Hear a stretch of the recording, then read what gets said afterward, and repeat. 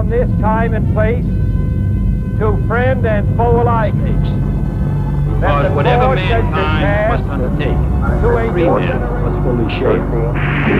Friendship down, a real fireball out. Get ready for the launch.